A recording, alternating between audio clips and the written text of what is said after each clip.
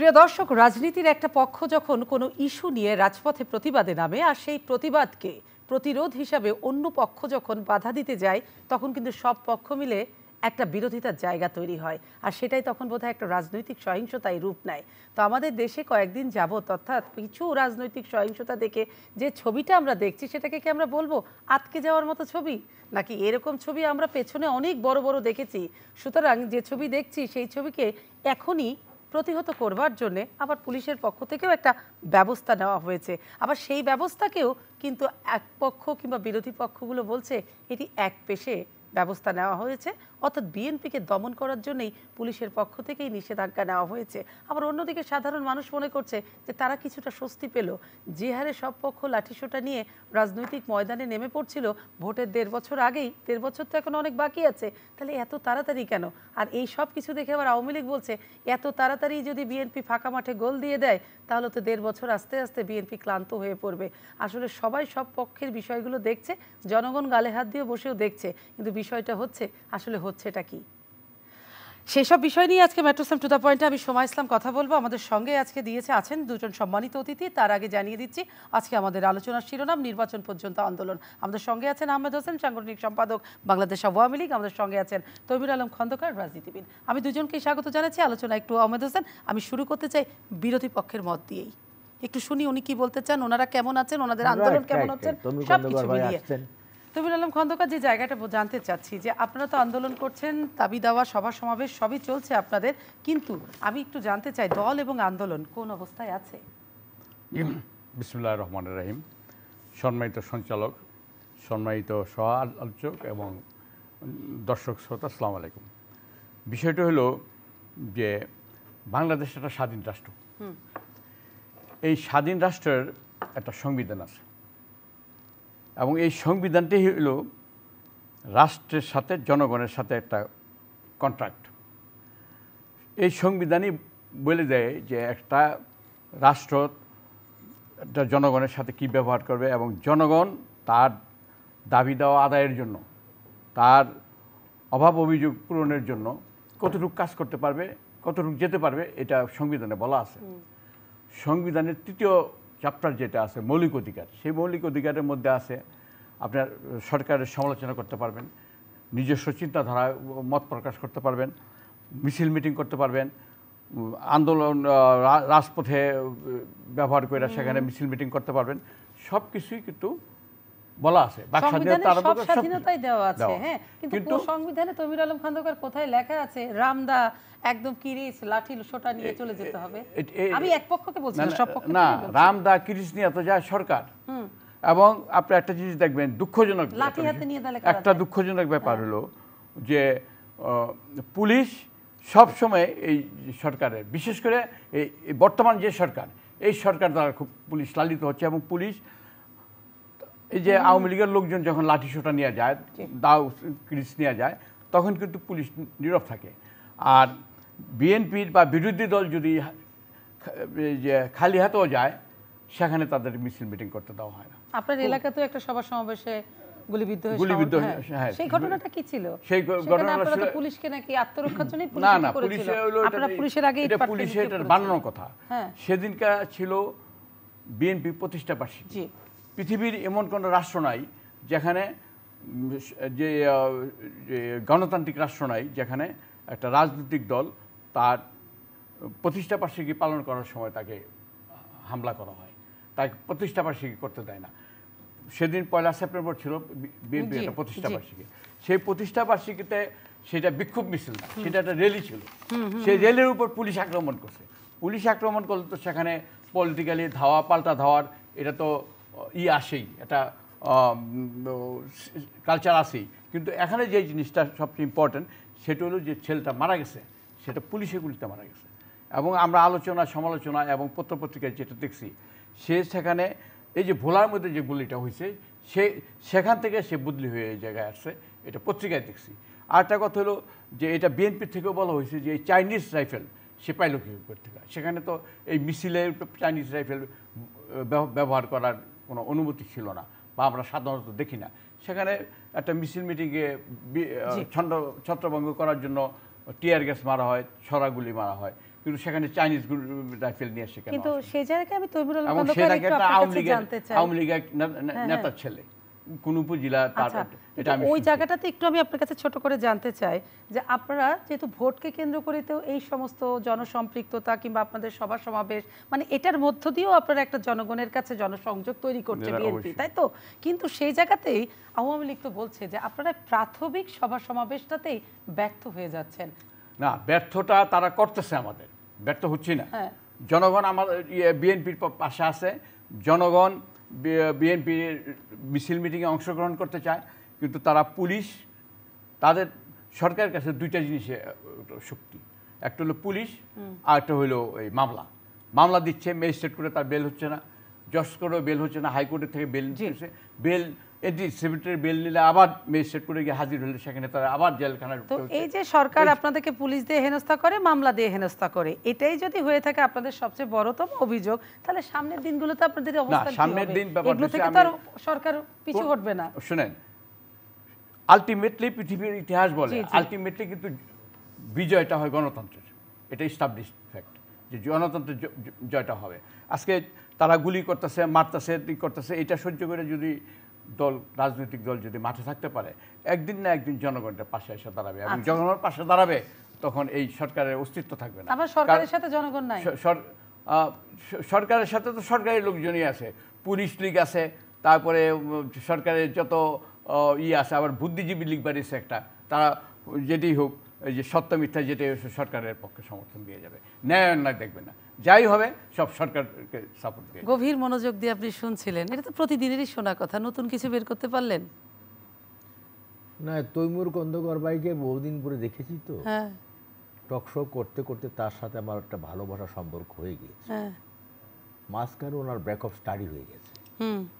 ওনার party থেকে তাকে expel করেছে। বহিষ্কার আমাকে। যে বাংলায় বলেন যাতে মানুষ বুঝতে পারে। যে কারণে একটা আদর্শিক মানুষ হ্যাঁ। দেশপ্রেমিক মানুষ এবং লাইফ লং পলিটিক্স করেছেন রাজনৈতিক একটা কেরিয়ার আছে ওনার।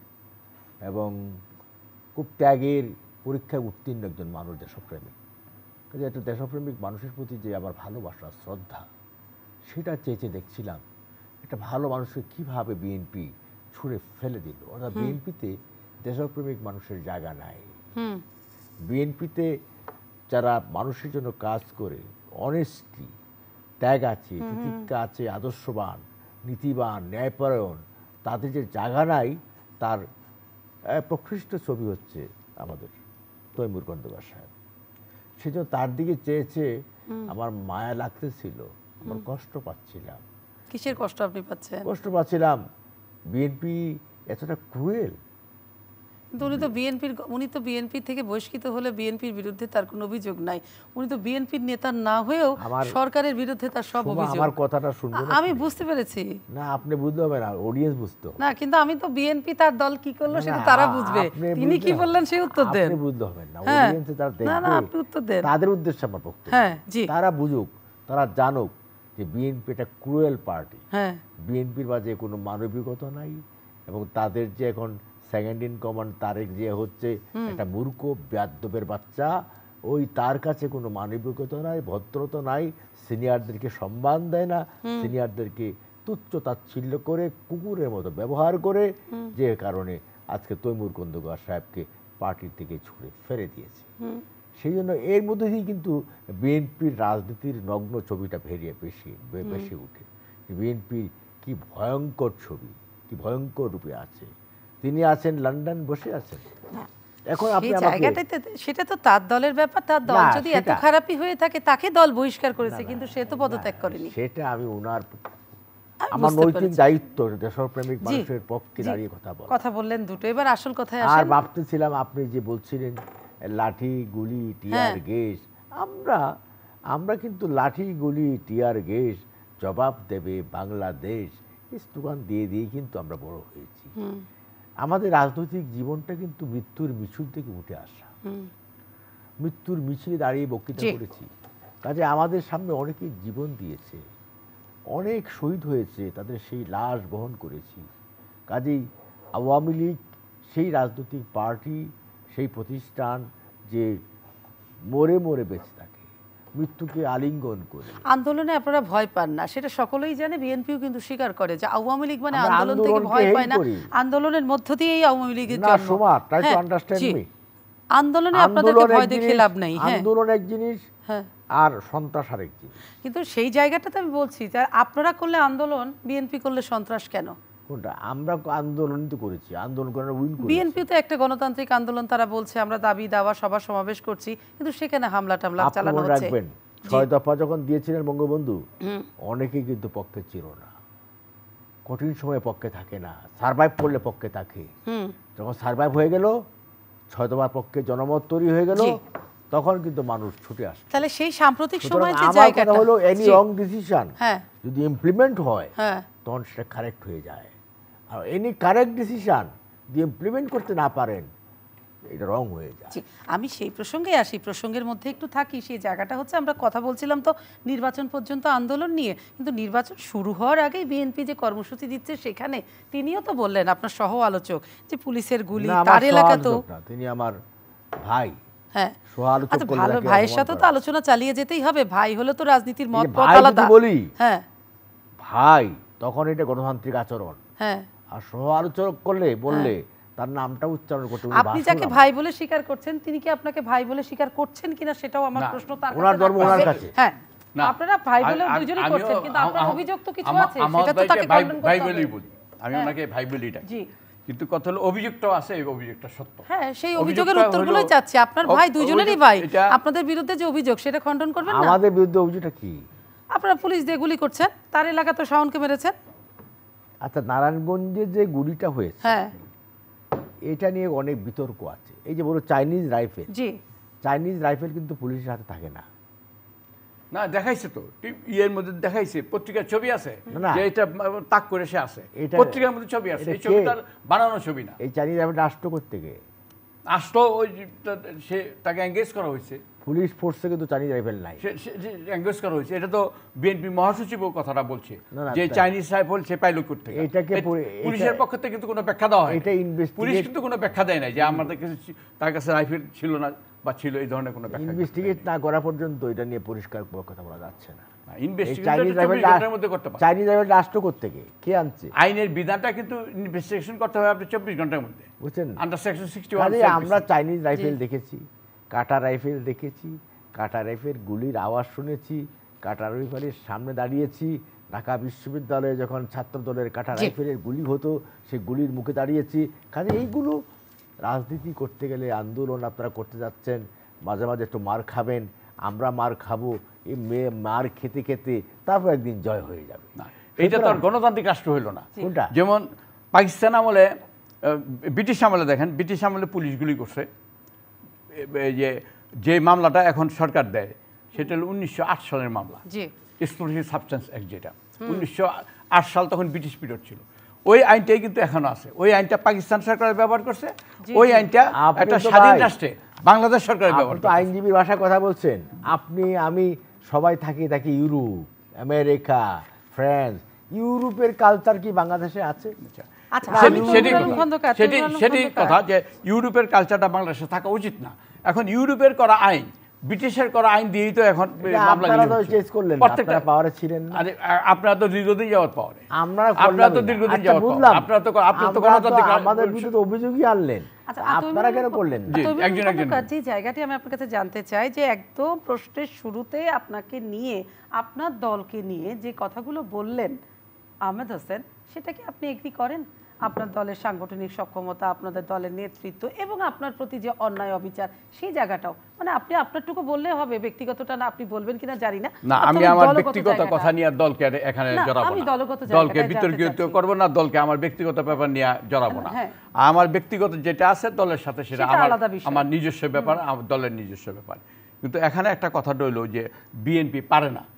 বিএনপি পারে না এই কথাটা এটা আওয়ামী লীগ থেকে বলা হয়। বিশেষ করে কয়েকজন মন্ত্রী আছে তারা খুব রং রস লাগায় এই কথাটা বলে। কিন্তু বিএনপি যখন পারতে যাচ্ছে বিএনপি যখন জন হাজার হাজার লাখ লাখ লোক যখন বিএনপি সমাবেশ হচ্ছে তখন কিন্তু আবার সরকারের মাথা গরম হয়ে যাচ্ছে। এবং সেটাকে প্রতিরোধ করার জন্য যদি বিএনপি না পারে তো বিএনপির মানুষের জন্য এত মামলা কেন? প্রতিদিনই মামলার হাজিরা আমাদের কেন দিতে হচ্ছে? একজন লোকের বিশটা পঁচিশটা ষাটটা সত্তরটা মতো মামলা আছে। বিএনপি যদি না পারে বিএনপিকে যদি তারা ভয়ই না পায় সাংগঠনিকভাবে বিএনপি যদি সাংগঠনিক শক্তি নাই থাকে তো প্রত্যেকটা এলাকার মধ্যে বিএনপির বিরুদ্ধে মামলা কেন হচ্ছে? বিএনপি তো মিছিল মিটিং করতেছে মাইর খেয়েও করতেছে। এই যে দেখেন ঢাকা ইউনিভার্সিটির কথা আহমদ হোসেন ভাই ঢাকা ইউনিভার্সিটির নেতা ছিলেন সেখানে এই ছাত্রদল গেছে হলো ইয়ের কাছে এই ভাইস চ্যান্সেলরের কাছে তাদের বক্তব্যটা বলার জন্য। সেখানেও তাদেরকে ধৈরা যে একটা দুষ্কৃতিকারীদের যেরকম পিটায় এরকম লাঠি সোটা পিটাইতেছে, পিটায় একদম শোয়াই ফেলছে। এটা বলার পর বলে যে জনগণ পিটাইছে। গেল ছাত্রলীগ, লাঠি সোটা নিয়ে গেল ছাত্রলীগ। উদ্দেশ্য পরিণতভাবে তাকে পিটাইলো ছাত্র দলকে। এখন একটা শিক্ষা প্রতিষ্ঠানের ভিতরে। এখন বলে যে জনগণ পিটাইছে। জনগণ তো এই শিক্ষা প্রতিষ্ঠানের ভিতরে যাওয়ার কথা না। তো বিভিন্নভাবে আজকে বিএনপিকে বা বিরোধী দলকে তারা কোনো স্পেস দিচ্ছে না। অথচ একটা গণতান্ত্রিক রাষ্ট্র ব্যবস্থায় আপনি একটা এটা ওনারাও স্বীকার করেন। ওনারা বক্তব্যের মধ্যে বলেন প্রধানমন্ত্রীও বলেন যে একটা গণতান্ত্রিক সমাজ ব্যবস্থার মধ্যে একটা শক্তিশালী বিরোধী দল অবশ্যই দরকার এবং পৃথিবীর সব জায়গায় আছে। তো শক্তিশালী বিরোধী দল হওয়ার জন্য বিএনপি এখন আগায় আছে। মানুষ কিন্তু এই কথা বলে সংসদে কিন্তু বিএনপি শক্তিশালী না বড় দল না। সংসদে হলো জাতীয় পার্টি হলো বিরোধী দল। কিন্তু মানুষ কিন্তু সাধারণ মানুষ কিন্তু বলে এবং আহমদ ভাই একজন সচেতন রাজনীতিবিদ হিসেবে তিনিও স্বীকার করবেন যে জনগণের ক্ষেত্রে রাজপথের মধ্যে কিন্তু বিএনপি বিরোধী দল। এবং বিএনপির তারা ওনারা যেসব বক্তব্য রাখে কথাবার্তা বলে সবগুলি বিষয়ে কিন্তু বিএনপিকে টার্গেট করে বক্তব্য রাখে। তো এতেই বোঝা যায় যে জনগণ দিন দিন বিএনপির পক্ষে আসতেছে। আর আসবে না কেন? সেটা হলো যে সরকার তো জনগণকে প্রতিপক্ষ বানায় ফেলছে। যেমন যে বিএনপি করুক বা না করুক তার তেল কিনে খাইতে হয়। যে বিএনপি করুক বা না করুক সেই লোকটার গাড়িতে চড়তে হয়। বিএনপি করুক বা না করুক তাকে বিদ্যুৎ বিল দিতে হয় তার লোডশেডিংয়ে পড়তে হয়। তো এইসব সব কিছুকে মিলে আজকে জনগণ যেখানে সরাসরি নির্যাতিত বাজারে গিয়ে এটা আপনার বাজারের অনেক সময় তো আপনাকে মিডিয়াতেও দেখায় যে মানুষের মাথা ঠিক থাকে না। সেই অবস্থায় জনগণের যারা যারা সরকার দ্বারা বেনিফিটেড না আওয়ামী লীগ দ্বারা তারা যারা রুটি হালুয়া রুটির ভাগ পাইছে তাদের কথা আলাদা। কিন্তু সাধারণ মানুষ যারা আছে চাকরিজীবী যারা আছে সবাই কিন্তু সরকারের প্রতিপক্ষতা হয়ে কিন্তু এই জনভোগান্তি লাঘবের জন্যই তো আপনারা লাগাতার কর্মসূচি দিয়ে আসছেন। কিন্তু আসলে যে জ্বালানি সংকট কমে যাওয়া জিনিসপত্রের দাম কমে আনা এইগুলো নিয়েই তো আপনাদের কর্মসূচি। কিন্তু আসলে কি এগুলো আদৌ কমলো নাকি আপনাদের নিজেরা সাংগঠনিকভাবে এই কর্মসূচি অনেকখানি হয়েছে? রাজনীতিটা হলো জনগণ কার পিছনে আসে। যখন দেখে যে জনগণ যখন দেখতে পায় যে এই দলটা আমার কথা বলতেছে জনগণের কথা বলতেছে তখন তো জনগণ তাকে সরকার কি জনগণের কথা ভাবে না? সরকার জনগণের কথা ভাবলে এক রাতে একদিনের ঘোষণায় ইয়ে একশো পঁয়ত্রিশ টাকা তেলের দাম হয়ে গেল। রাস্তায় যে উন্নয়ন দাঁড়িয়ে আছে সরকার এটা কাজ সেটা উন্নত জনগণের ট্যাক্স হবে যতটুকু জনগণকে মাইরা জনগণের পকেট কেটে পকেট কেটে তো আপনি উন্নয়ন হ্যাঁ, করতে পারবেন না। হ্যাঁ। জনগণের উন্নয়ন করাটা এটা সরকারের রুটিন আপনি দুর্নীতি থাকলে নিশ্চয়ই সেটার বিরুদ্ধে সোচ্চার করবেন কিন্তু দুর্নীতির সাথে যে উন্নতিটা হচ্ছে সেটা কেউ কেন আমি আমি আমি যখন দলের ছিলাম বিএনপিতে হ্যাঁ। আমাকে বহিষ্কার করার আগেও আমি যাই না শুনেই বলছি যে পদ্মা সেতু বাংলাদেশের জন্য একটা অ্যাচিভমেন্ট হ্যাঁ। আমি যাই না শুনেই বলছি মেট্রো রেল বাংলাদেশের জন্য একটা অ্যাচিভমেন্ট আমি কিন্তু এটা কথাটা বলি যেটা সত্য সেটাকে স্বীকার করতে হবে। পাশাপাশি মানুষের যে দুর্ভোগ মানুষের তার কথা বলতে পারে না। Under article thirty nine. তার মুখ খোলা তার কথা বলার অধিকার সংবিধান দিছে। মিছিল মিটিং করার অধিকার সংবিধান দিছে। রাজনৈতিক সংগঠন করার জন্য অধিকার সংবিধান দিছে। কিন্তু সেটা এই এই বর্তমান সরকার আপনি দেখেন যে এমন কোনো সভা আছে বিএনপির যে সভাতে গিয়ে আওয়ামী লীগ ই না করে হামলা না করে। যদি আরেকটা জিনিস যদি হয়ে থাকে তাহলে আপনারা সামনে আগাবেন কি আচ্ছা আরেকটা পয়েন্ট বলি জি জি বলেন। যে এই যে ওয়ান ফর্টি ফোরটা। হ্যাঁ হ্যাঁ হ্যাঁ। এই ওয়ান ফর্টি ফোরটা হলো সরকারের হাতে ডিসির হাতে এবং এই এসপির হাতে। বিএনপি যেখানে মিটিং দেয় সাত দিন আগে ঘোষণা দেওয়া দেয় অমুক জায়গায় আমার মিটিং হবে। সেই মিটিংয়ের জায়গায় আওয়ামী লীগের পক্ষে আরেকটা মিটিং দিয়া ওই ওয়ান ফর্টি ফোর জারি করে সেখানে মিটিংটা বন্ধ করে দেয়। এটা তো ওই সরকার তো শুধু লাঠিপিটা করে না পুলিশ দেয়া করে না। এই আইন কানুনেরও left hand of the law বলতে একটা কথা আছে।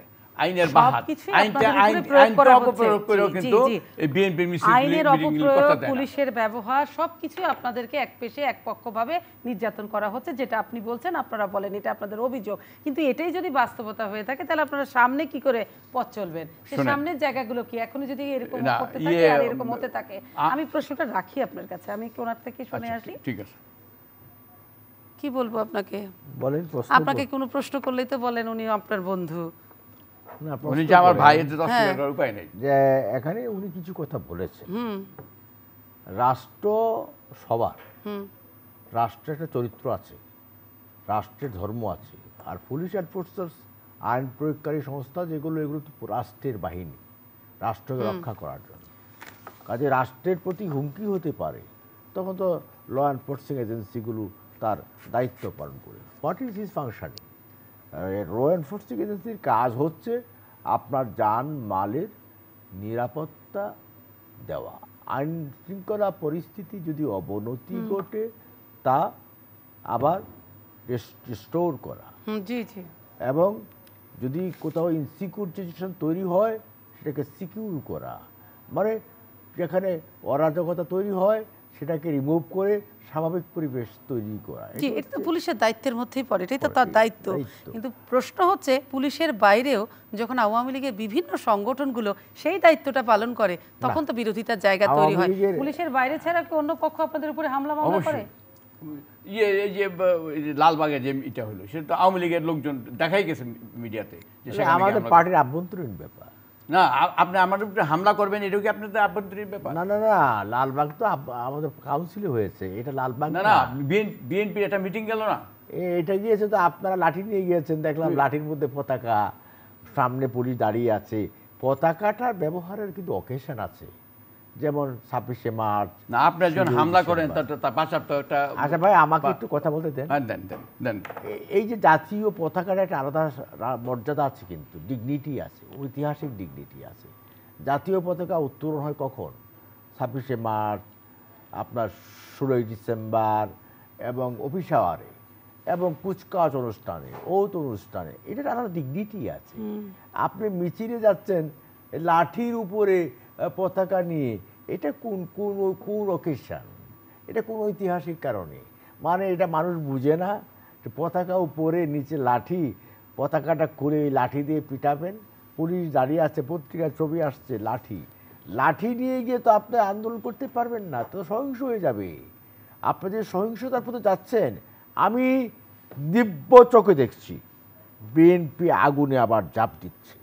আবার তেরো, আবার চোদ্দ আবার পণ্ড। ওই লাইনে যাচ্ছে। ওই লাইনে যাচ্ছে। আগুনে জাপ দিচ্ছে আবার। আবার আগুনে জাপ দিচ্ছে। কিন্তু আমরা আগুনে জাপ দেওয়ার আগেই আগুনটা নিভে ফেলব। যাতে আগুন সৃষ্টি করে জনপদকে আগুন দিয়ে পুড়িয়ে না দিতে না পারে। সেজন্য পুলিশে নিষেধাজ্ঞা দিয়ে দিল যে লাঠি নিয়ে সভা সমাবেশ করা যাবে না। ডিসিশন আই অ্যাপ্রিসিয়েট শুধু বিএনপি না আওয়ামী লীগ তো এই ডিসিশনটা বিএনপি যখন মিছিল হ্যাঁ, মিটিংয়ে যাবে তখন সে লাঠি ব্যবহার করতে পারবে না। আওয়ামী লীগ তো করতেছে না, আওয়ামী লীগ করছে না, ভাই। সরকার দল পুলিশ ধরবেই না স্যালুট দিয়ে ছেড়ে ভাই আপনি বোধহয় আমাদের পার্টির জেনারেল সেক্রেটারির বক্তব্যটা শোনেন নাই। এটা তো না, না, আমাদের বিয়ের বক্তব্য মঞ্চের বক্তব্য আর মঞ্চে ব্যক্তিগত নয়, অ্যাকশন মঞ্চে নয়, মঞ্চে- মঞ্চে- নয়। এটা অফিসিয়ালি বলা হয়েছে যে আমাদের পার্টির পরিষ্কার সিদ্ধান্ত যে বিরোধী দলের উপর কোনো আক্রমণ করা যাবে না। সেই-। থেকে কিন্তু বন্ধ হয়ে গেছে বিচ্ছিন্ন কিছু ঘটনা ঘটেছে আমরা অস্বীকার করব না কিছু বিচ্ছিন্ন ঘটনা ঘটেছে এখন থেকে আপনি দেখেন কোথাও পার্টির পক্ষ থেকে কোনো আক্রমণ হচ্ছে না আচ্ছা ঠিক আছে পার্টির পক্ষ থেকে কোনো আক্রমণ হবে না তাহলে অভিযোগের জায়গাটা তো এখানে শেষ হলো কিন্তু মাঠে আপনারা দেখবেন যে আসলে হচ্ছে কিনা। বলি। হ্যাঁ জি বলেন এই যে আমি হ্যাঁ ঘোষণা দিলাম যে পল্টনে সাত দিন আগে ঘোষণা দিলাম যে আমি এখানে জনসভা করব। আচ্ছা হ্যাঁ এই জায়গাটা কিন্তু এই। জায়গায় এসে আপনি একটা দরখাস্ত দিয়ে বললেন যে আমি মিটিং করব। এই জায়গাটাতে একটু ব্যাখ্যাটা চাই। পাল্টাপাল্টি সমাবেশ। না, ওনারা ব্যাখ্যাটা দশ দিন আগে নিল ব্যাখ্যাটা আমার- দশ দিন পর কেন ওরা আপনারা একই জায়গায় নিবেন যান? নিবেন হ্যাঁ, ব্যাখ্যাটা নিবেন জি। ব্যাখ্যাটা শুনবেন। হ্যাঁ জি। মেইন রাস্তায় যেখানে জনগণের চলাচল করে যানবাহন চলাচল করে একটা এটা কিন্তু রাজনীতির মাঠ না। এটা কিন্তু জনসভার মাঠ না। এখানে কিন্তু আপনি মিটিং করতে পারেন না। তো আপনার আপনি- আপনারা করেন কেমনি? পাল্টাপাল্টি সমাবেশের যে ডাক তারপরে 144 ওয়ান তো তখনই। দিয়ে যাওয়া। যখন আমরা ওখানে করার জন্য আমরা আমাদের ওয়ান প্রস্তুত ফোর্টি ভোট দিই কেন? যখন আপনি রাজপথটা ব্যবহার করে মানুষের জন্য সাফারি নিয়ে আসবেন মানুষ দুর্ভোগ পোহাবে যানবাহন চলতে পারবে না বেআইনিভাবে কাজ করছেন তখন আরেকটা ওয়ান ফোর্টি ভোটের আয়োজন করা হয়। বিকজ টু এনশিওর জনগণের যান বাহন যাতে চলতে পারে সেই কারণে আর কিছু না। আর আমরা রাস্তা আটকিয়ে কোনো জনসভা করি না। দেখেন এখন তো আপনার ক্ষমতায় আপনাদের তো আটকানে ভাই ক্ষমতা তো আপনারা ছিলেন সুপার পাওয়ারে ছিলেন। আপনারা যখন সুপার পাওয়ারে ছিলেন আপনাদের জ্বালায় গড়ে থাকতে পারতাম না। আপনাদের মায়ের ঠেলায় গড়ে থাকতে পারতাম না। আপনাদের গুলিতে ছাব্বিশ হাজার মানুষ মারা গেছে। কত মানুষ যে গড়ে থাকতে পারে যেটা প্রতিশোধ এখন আপনারা নিতেছেন বলে আমরা প্রতিশোধ নিচ্ছি না। যেটা প্রতিশোধ মনে করেন যে ওই কারণে আপনি আমাদের প্রতিশোধ প্রতিশোধ। নিচ্ছি না। আমরা তাহলে অভিযোগ সত্য আপনারাও ছাব্বিশ হাজার লোক গুলি না এটা ওনার অভিযোগ সত্য না। উনি ওনারা এই অভিযোগটা তৈরি করছে। হ্যাঁ। অভিযোগটা তৈরি করছে এটার একটা আমাদের একটা কাউন্টার দেওয়ার জন্য। কাউন্টার কথাবার্তা বলার জন্য এই এই অভিযোগটা দেয়। এই সময় আপনি রেকর্ড দেখেন হ্যাঁ। যে ছাব্বিশ হাজার লোক বা ই গেছে এটা সঠিক না। অথচ বিএনপির কত লোক গুম হয়েছে কত লোক খুন হয়েছে কত লোক পুঙ্গ হয়েছে কত লোক এই বাড়িঘর ছাড়া হয়েছে এখনও বাড়িঘর ছাড়া এগুলি আপনি দেখবেন। এই যে রূপগুঞ্জে একটা ঘটনা। জি জি জি। এই ওই ছেলেটা মাসুদ করে নাম সে ছাত্র দল করে। তার বাড়িতে হামলা করে তার বাপ মাকে পিটাইছে। বাপ মাকে পিটানোর পরে আবার তাদের বিরুদ্ধে মামলা দিয়েছে। এখন পুলিশ এখন মাইরও বিএনপির কপালে মামলাও বিএনপির কপালে। বিএনপি তো কোনো কোথাও ই পাচ্ছে না। তাই তারপরেও আমরা আশাবাদী যে একটা কথা মাহমুদ ভাই বলছে যে ওনাদের উপরে অনেক জুলুম হয়েছে অত্যাচার হয়েছে নির্যাতন হয়েছে। তারপরে ওনারা ওই সময় আন্দোলন করে গেছেন তো কাউন্টারভাবে বিএনপির উপরে অত্যাচার হচ্ছে নির্যাতন হচ্ছে বিএনপি একদিন এটাকে এটার অবস্থা উন্নতি হবে এবং তারাও একদিন ক্ষমতায় আসবে। বিএনপি কি নিজেরা শক্তিশালী হয়ে দাঁড়িয়েছে নাকি আরও দাঁড়ানো দরকার? বিএনপি শক্তিশালী না হইলে সরকার তাকে কাউন্টার মনে করে কেন? সরকারের যে আপনি এর আগে একটা প্রশ্ন করেছিলেন কারও বিরুদ্ধে কথা বলে না। তৈমুর আলম খন্দকার- জাতীয় পার্টির বিরুদ্ধে বলে না এই ইয়ে অন্যান্য বামপন্থীর বিরুদ্ধে বলে না তারপরে অন্য আরও দল আছে কারোর বিরুদ্ধে কিন্তু সরকার তৈমুর আলম। খন্দকার সেখানেও সরকারের কিন্তু একটা ব্যাখ্যা আছে। এটা হচ্ছে যে সরকার কেন বিএনপিকে কাউন্ট করে? কাউন্ট করে এই কারণে তাদের সঙ্গে জনসংযোগ আছে কিনা তার চেয়েও বেশি বড় ভয় পায় যে তারা আন্দোলনের নামে নৈরাজ্য করবে। সেই ভয়টা পায়। না এই ভয়টা এই- এই- এই- এইটা একটা কথা আপনি বলছিলেন। এখন আওয়ামী লীগ যেটা করে সেটা হলো অগ্নিঝরা অগ্নিঝরা আন্দোলন। আর বিএনপি যেটা করে এটা হলো সন্ত্রাস। হ্যাঁ। আওয়ামী লীগ যখন আন্দোলন করে তখন এটা হলো রাজপথের লড়াকু সৈনিক। হ্যাঁ। এবং না বাংলাদেশের অগ্নিকন্যা। আর বিএনপি যখন করে তখন হইল তারা সন্ত্রাস তারা এই দুষ্কৃতিকারী এই ধরনের কথাবার্তা বলে তাদেরকে দেওয়া হয়। এখন যে জায়গাটা আমি জানতে চাই আলোচনা আমি শেষ করব। আপনার কাছে আমার শেষ প্রশ্ন পরে আমি আহমেদ হোসেনের কাছে যাব। তো এই রাজনীতি আসলে পক্ষ বিপক্ষ তো এরকমই হয় যে রাজপথে কেউ দাঁড়াতে পারে কেউ প্রতিরোধ করে। কিন্তু আপনাদের আসলে ভবিষ্যতে রাজপথে দাঁড়ানোর মতো জায়গা এবং ক্ষেত্রগুলো কি কি কোথায় কোথায় কমতি আছে এখনও? আমি মনে করি যেহেতু জনগণ সরকারের বিপক্ষে চলে গেছে বা সরকার সরকার জনগণকে প্রতিপক্ষ বানায় ফেলছে বিভিন্ন ভা- ভাবে সেখানে সরকার পদ্মা সেতু করছে অ্যাচিভমেন্ট কিন্তু যেই পদ্মা সেতু যে পার হবে যে গাড়িটা দিয়ে, ওই গাড়ির তো আমার ক্রয় ক্ষমতার বাইরে চলে গেছে। তো ওই পদ্মা সেতু তো আমার কাজে লাগতেছে না। একটা কথার কথা আর কি। এখন প্রশ্নটা হলো যে সরকারকে যদি আজকে যা করা হচ্ছে, আমি যা করতেছি, আহমদ ভাই যা করতেছে, প্রধানমন্ত্রী যা করতেছে, বা যেই করতেছে সবাই একটা রেকর্ড থাকতেছে। আজকে এই বিরোধী দলকে যদি এইভাবে কোণঠাসা করে রাখা হয়, একদিন না একদিন এটা প্রতিফলন ই হবে আউটব্রেক ভোটে যাবেন? ভোটের প্রশ্নে একটা কথা আছে যে E ইভিএম ইভিএম এর তো ই আমি এটা ভিকটিম আমি। নারায়ণগঞ্জে ইভিএম দিয়ে তো ইভিএম এবং পুলিশ নির্বাচন আমাকে ফেল করাইছে। পুলিশ কীভাবে করাইছে নির্বাচনের সাত দিন আগের থেকে আমার বাড়ি থেকে যে বাড়ি ছিল না না দল না থাকল আমার দল না থাকল। হ্যাঁ। নারায়ণগঞ্জে তৈমির আলম খন্দকার একটা দল আল্লাহ রহমতের তৈমির আলম খন্দকার এমন কোনো সংগঠন নাই সাধারণ মানুষের গণমানুষের। যেটার সাথে তৈমির আলম খন্দকারের সম্পৃক্ততা নাই। এলাকার এমন কোনো উন্নয়ন কাজ নাই যেখানে তৈমির আলম খন্দকারের সম্পৃক্ততা নাই। আর সবচেয়ে বড় কথা হলো আমার জোর গলা যেটা বলি যে আমার কোনো জনবিরোধী গণবিরোধী কোনো ভূমিকা নাই যেটা আমার প্রতিপক্ষ নির্বাচনের দ্বারা আমার বিরুদ্ধে বলে নাই। দল আপনাকে ছুড়ে ফেলেছে। সেটা মানে দলের একটা নিজস্ব ব্যাপার। দলের হ্যাঁ। দল তো একটা এত বড় দল তো একটা গার্জিয়ান গার্জিয়ান এবং দল যা করছে দলের সমালোচনা তো আমি করতে পারি না করিও না।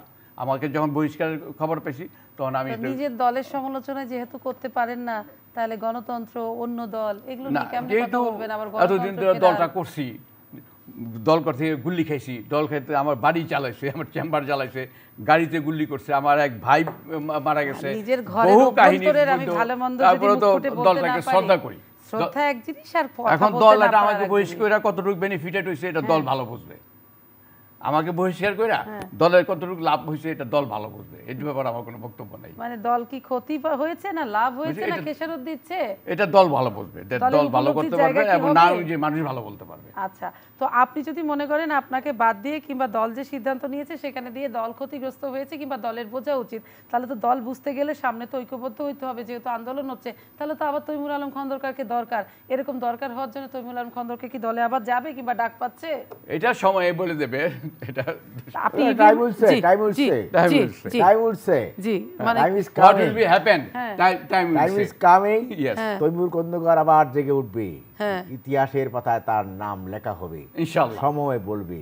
তৈমুর কন্দকাররা রাজনীতি করেছে শেষ হওয়ার জন্য নয়। ইনশাআল্লাহ। তারা পড়ে পড়ে অঙ্গার হয়ে গেছে ইতিহাস সৃষ্টি করার জন্য। আগামী দিন আসছে তৈমুর কন্দকার আবার উদিত হবে নতুন রূপে নতুন চুকে নতুন চেহারায়।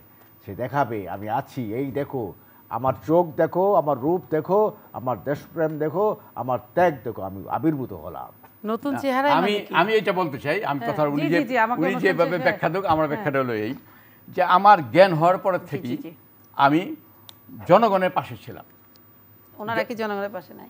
আমি বলি দলমত নির্বিশেষে জনগণের যতটুকু যেখানে আমাকে জড়িত করা দরকার কি বস্তিতে বলেন? আমি তাই বস্তিতে বস্তিতে পড়ে কিন্তু তৈমুর খন্দকার আমরা ব্যক্তি আলোচনার বাইরে যে একটু রাজনীতির আলোচনা সেটা করতে চাই সেটা ব্যক্তি তো হ্যাঁ, রাজনীতির অংশ। না ব্যক্তিগত এটা আলোচনা হয়েছে যে ব্যক্তি যাতে ব্যক্তিগতভাবে তো ওনাকে এলাকায় ওরা সবাই উনি আচ্ছা, ত্যাগী নেতা। আমি ইভিএম এর জায়গাটা সবচেয়ে গণবিরোধী ভূমিকা আচ্ছা আমি তৈমুর কন্দকার ভাই। ইভিএম এ আপত্তি আছে কিন্তু আপনারা কি এটা পরে বলি। না, এটা দলের সিদ্ধান্ত আচ্ছা, এগুলো পরে বলি। যাওয়াটা উচিত হবে না। আমি- একজন নাগরিক হিসাবে এবং এক- এক সময় বিএনপিটা আমি যানজীবন দিয়ে করছি। এটা বিএনপির নেতারা অস্বীকার করতে পারবে না।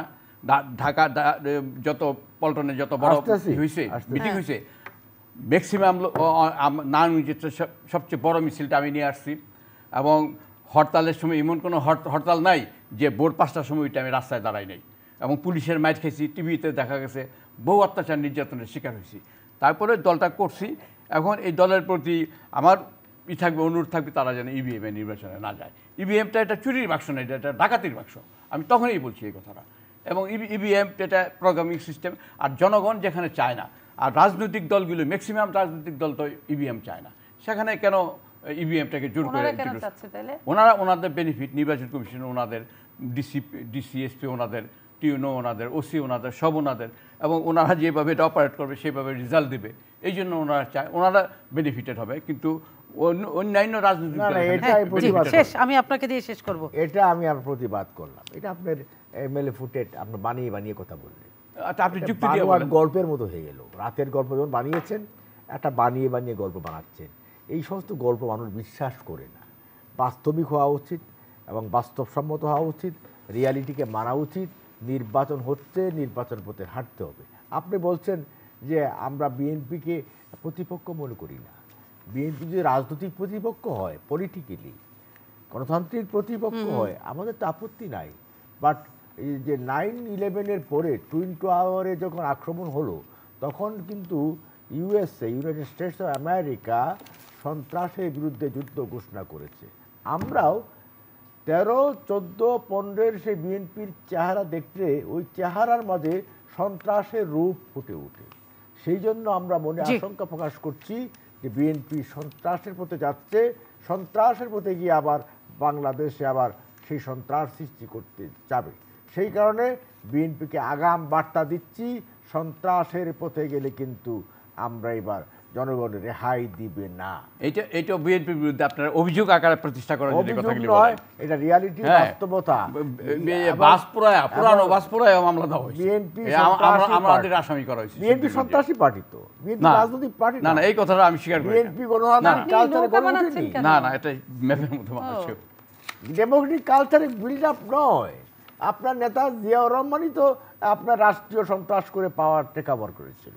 কি? আপনি অস্বীকার করবেন? আলোচনা শেষ করি। আপনার দিকে অনেকগুলো অভিযোগের আঙ্গুল সন্ত্রাসী দল বিএনপি। কিছু বলবেন? আমি বিদায় নিব। বিএনপি সন্ত্রাসী দল না। হ্যাঁ। এখন সন্ত্রাস সরকারি বাহিনী দিয়ে সন্ত্রাস করা হচ্ছে ইয়ের উপর বিএনপির উপরে। বিএনপি যারা করে তাদেরকে পিটানো হচ্ছে। যারা মিছিল মিটিং করতে চায় তাদেরকে পিটানো বিএনপি কি ঘুরে দাঁড়াবে? অবশ্যই ঘুরে দাঁড়াবে। এবং দাঁড়ানো উচিত। তা দাঁড়াতে তো আপনার মতো লোক লাগবে। সেটা দেখা যাক। আচ্ছা ঠিক আছে। বিএনপিটা হলো ধরেন একটা আদর্শের নাম। হ্যাঁ, জি। আমাকে আলোচনা আজকে শেষ করতে বিএনপি হবে। একটা আদর্শের নাম আদর্শ। মৃত্যু হয় না। আমি আমাকে দল নেক আর না নোক বিএনপির যে আদর্শ আছে সেই আদর্শ নিয়ে? এই দাঁড়ানোর ক্ষমতা আমি রাখি। এ ভাই আপনারও একটা আদর্শ চলেন। এই আদর্শটা হচ্ছে আমাকে আজকে অনুষ্ঠান শেষ করতে হবে। প্রিয় দর্শক আপনাদের সঙ্গে ছিলেন আমাদের সঙ্গে এতক্ষণ শুনলেন। আপনারা আবার আপনারা দেখবেন আরও একদিন আমরা এই পলিটিক্যাল আলোচনা নিয়ে প্রতিদিনই কথা বলে থাকি আবারও নতুন আরেকটা দিনে অন্য কোনো ইস্যু নিয়ে আবার দেখা হবে মেট্রো দ্য পয়েন্টের টেবিলে হয়তো অতিথি নতুন কেউ থাকবে। সে পর্যন্ত আপনারা ভালো থাকেন, সুস্থ থাকেন। শুভরাত্রি সকলকে।